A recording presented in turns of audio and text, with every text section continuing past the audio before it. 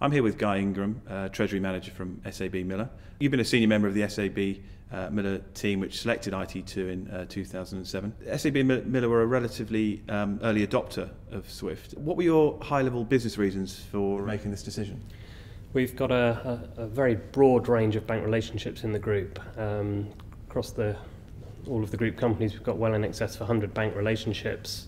And at the time, um, we could see a, a need to interface all of those through to IT2 at, at some stage in, in the future.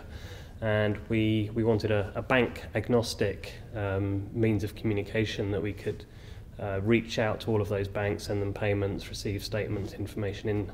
The Swift for Corporates offering offered us um, the, the natural route into, um, in, into that requirement. Why did you choose a Swift bureau rather than a direct connection?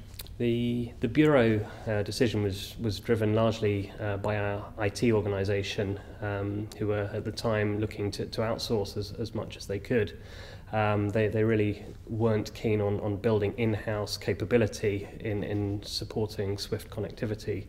So the, the Bureau um, solution gave us a, a good answer to that to that requirement. And what are the main benefits you're uh, achieving from Swift TMS integration? Well, as uh, as we set out, we we seem to be fairly easily able to roll in new bank relationships in, uh, into IT2, interface them um, at, at relatively low cost and, and low work effort.